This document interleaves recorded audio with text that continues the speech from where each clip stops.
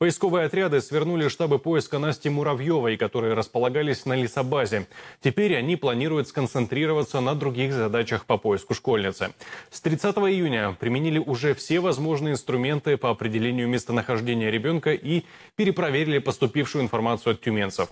Девочку до сих пор ищут волонтеры. Поисковики делают это удаленно. О сборах на розыск Насти будут сообщать в официальных группах поисковых отрядов